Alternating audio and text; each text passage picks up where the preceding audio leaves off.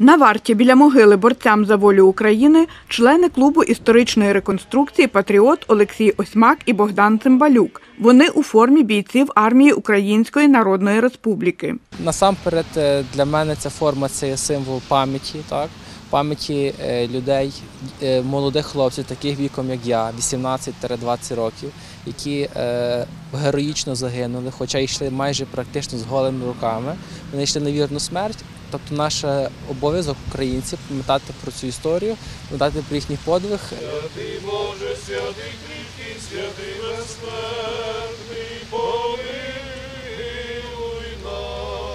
пошкодувавши свого життя, у такому молодому віці віддавши його, вони дають нам приклад жертовної любові, про яку казав Господь.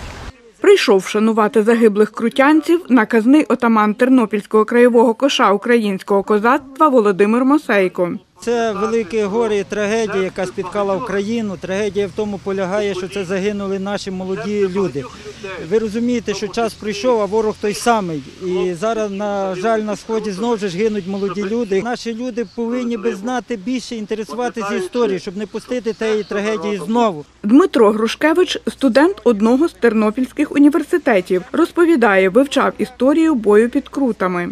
Це взагалі один з перших таких прояв е, національної ідеї в світі.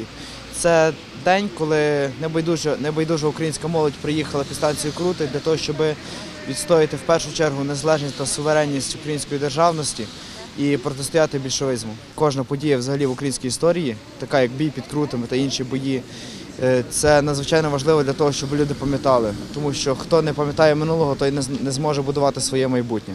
Разом з батьком до могили борцям за волю України прийшла п'ятирічна Юля Паламарчук. Ми хотіли ну, поставити квіти е, до вони воїнів, які загинули за Україну. Любов Гадомська, Оксана Галіяш. Новини на Суспільному. Тернопіль.